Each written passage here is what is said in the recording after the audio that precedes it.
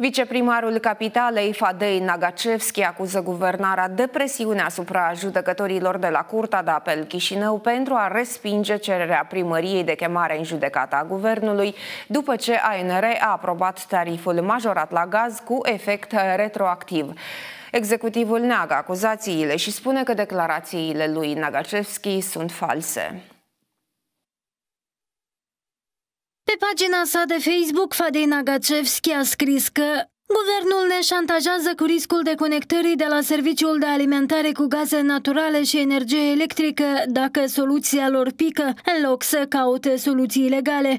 Nu știu cum va acționa instanța, ce soluție va lua, dar guvernanții sper să se ocupe mai puțin cu dominarea, să manifeste înțelepciune și să caute soluții echitabile și conforme legii.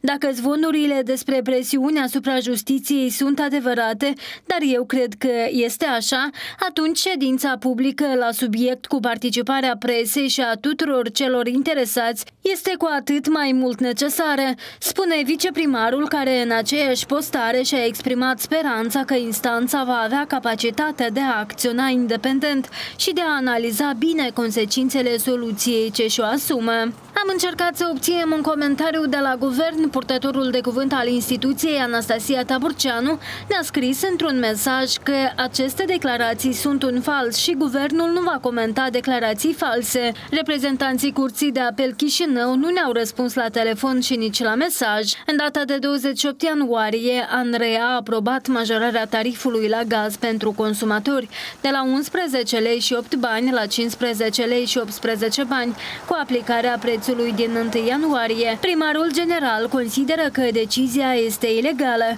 Ulterior, în 1 februarie, Ceban și Nagacevski Moschi au depus o plângere la Procuratura Generală pe acțiunile Guvernului și Comisiei Naționale pentru Situații Excepționale privind majorarea prețului la gazele naturale retroactiv din 1 ianuarie 2022. Ei declarau atunci că nu există elemente care ar permite aplicarea retroactivă a tarifelor.